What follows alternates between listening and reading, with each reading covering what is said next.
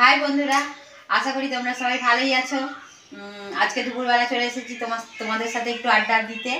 তো আমাদের আজকে খাওয়া হয়ে গেছে। এখন রান্নাঘরে বাসন মাজতে এসেছি। বাসন পড়ে আছে কটা। আর ফুলকপি আলু দিয়ে মাছের ঝোল করেছিলাম। কলমি শাক ভাজা করেছিলাম। আর আমের চাটনি করেছিলাম। আর কিছু করিনি, ব্যাস এইটুকুনি।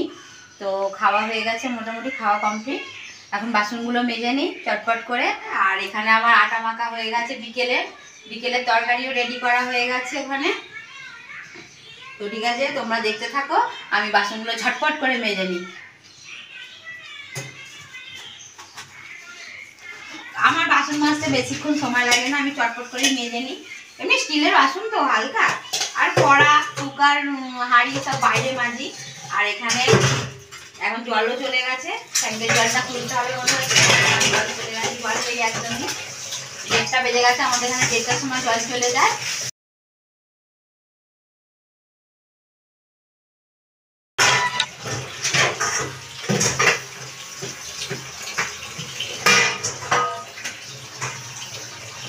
মাজতে থাকি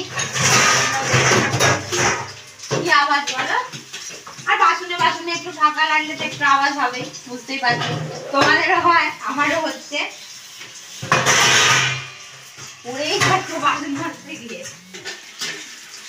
বাসন মাজা হয়ে গেছে, এবার ধুয়ে নি।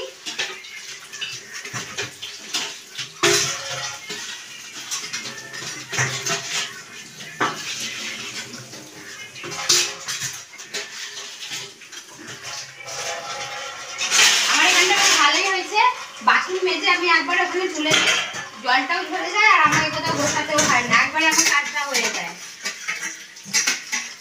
কারণ কারণ এক জায়গায় বাসন মাজবে, এক জায়গায় রাখবে, আবার বাসনের জায়গায় রাখতে হবে। অনেক ঝামেলা। তো আমার একবারই কাজ মিটে যায়।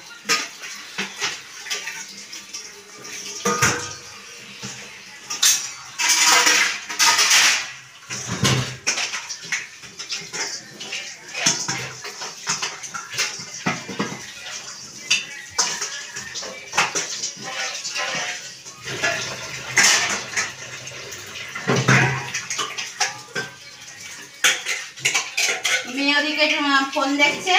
ওর মানে এই সুযোগ, আমরা যতক্ষণ খাই বা খাই বা বাসন টাসন মাঝে ওখানে মোছামুছি করি, ততক্ষণ ওর বেশ ভালোই হয়, আনন্দ হয়। ওই ও বেশি দেখে না তবু ওই যেইটুকুনি দেখে ওর তো ভালোই হয়। রাত্রিবেলাও আমরা যখন খা, খেতে বসি, তখনও ফোন দেখে। আর দিনের বেলাও যখন আমরা খেতে বসি তখন ওইটুকুনি টাইম ফোন দেখে এইবারে গিয়ে শুয়ে পড়ব। বাসন মাজা হয়ে গেলে ও ততক্ষণ ফোন দেখে আর কি করব বলো। তো বন্ধুরা, আমার বাসন মাজা কমপ্লিট হয়ে গেছে, সব ধোয়াধুয়ি করে নিয়েছি হাতও ধুয়ে নিয়েছি। এই জানলাটা দিয়ে দিই, জানলাটা খোলা থাকলে বিড়াল ঢোকে। আমাদের এখানে অনেক বিড়াল আছে, তো বিড়াল ঢোকে। এখন যাচ্ছি শুতে। এখন একটু শুয়ে পড়ি। দুপুরবেলা না ঘুমোলে আমার ঠিক ভালো লাগে না।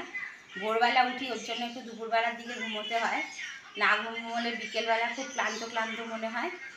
ওর জন্য একটু শুয়ে পড়ি। ঠিক আছে, টাটা। আজ এই পর্যন্তই। দেখা হবে নেক্সট ভিডিওতে